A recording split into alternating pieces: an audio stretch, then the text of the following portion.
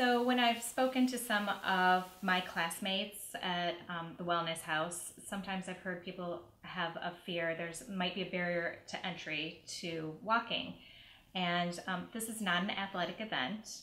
Uh, it doesn't have to be if you don't want it to be. You don't need fancy running shoes.